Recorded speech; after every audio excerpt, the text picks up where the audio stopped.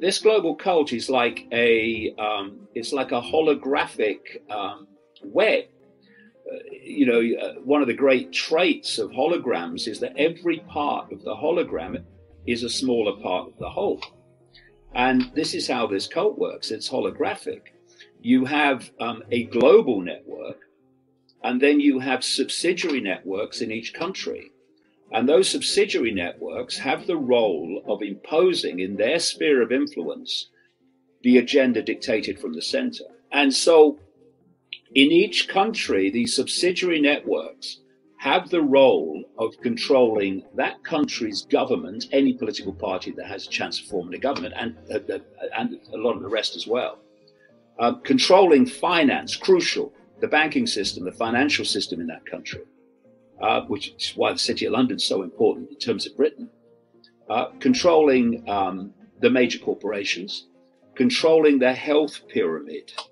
And, and so um, the, um, the various uh, subsidiaries in, in these different countries uh, are running the banking system in those countries uh, in accordance with the centrally dictated um, agenda. And so you have uh, organizations like uh, the Bank uh, for International Settlements in Basel, Switzerland, which was created by these these families, the Rockefellers, etc., where the um, the heads of the various central banks meet regularly to coordinate policy, and uh, it's um, it's all centrally um, dictated, but you have got these sub- subsidiaries playing it out in each country, and, and so then um, you had the uh, further expansion of this uh, of this cult's power through what is called globalization.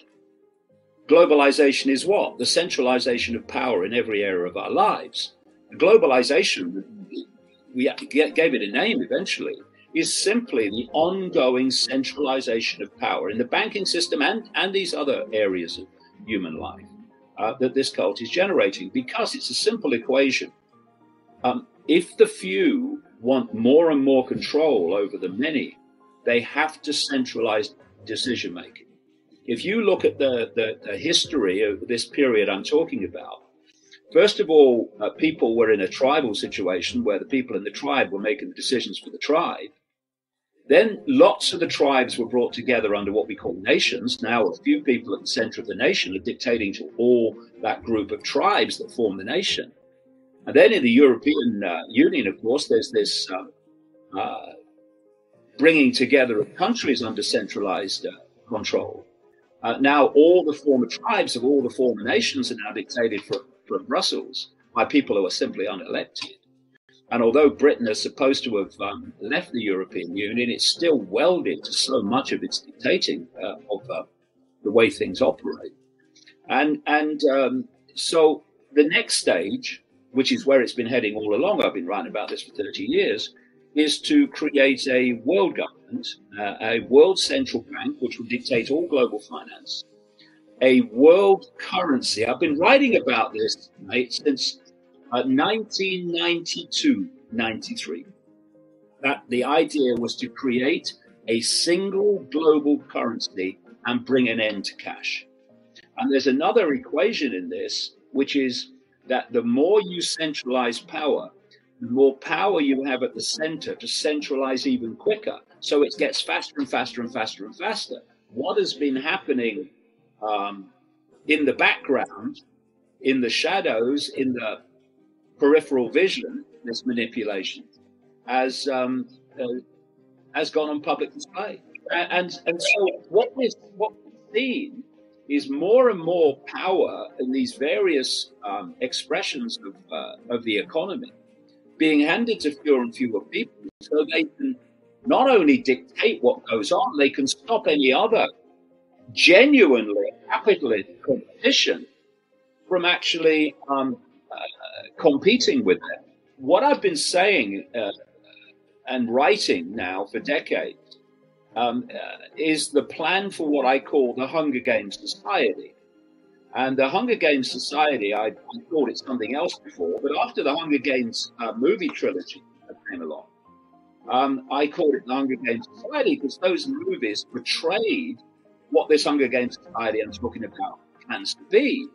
which is a tiny few people dictating everyone else via control of finance and um, via dependency by the population on the few for the very basics of survival. And uh, I've been writing again for a very, very long time that the plan is and has been to destroy independent income and independent business and force the population to live on what uh, I, I, said was going to be called a uh, guaranteed income, which would be a pittance, and you'd only get it if you do what the government wants you to do. Now that sounded fantastic. Um, you know, when I first started talking about it, I set on a journey uh, uh, from an understanding that the forces that appeared to be controlling the world, like governments and prime ministers and presidents, actually weren't. The real power was in the shadows where you never saw it. So I, I went on this uh, this journey of uncovering it, um, and to uncover not only that the power is in the unseen, but what that power is seeking to do in terms of where it wants to take humanity. Now, because you're dealing with psychopaths who have no empathy and no limits, where they want to take humanity is truly, truly horrific. And I, I saw this from the early 1990s.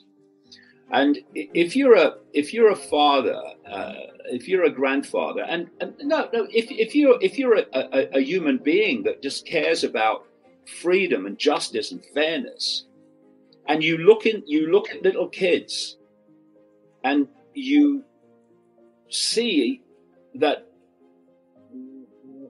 what those kids or the the world, the society that those kids are going to live in virtually all their lives, if we don't head this off, which I could see, I mean, at the, at the time, of course, people were laughing. That it's all a load of rubbish that that Icke, but I, I knew it was true, and that's why I kept going despite all the ridicule and all the abuse because um, I, I knew where it was going, and so I looked at these kids and and I looked at my own children, and I saw the world that was planned for them, and you know, if you have a smear of decency then what you do then is you give the rest of your life to trying to head it off and to uh, alert people to it so that um, they can um, they can put an end to it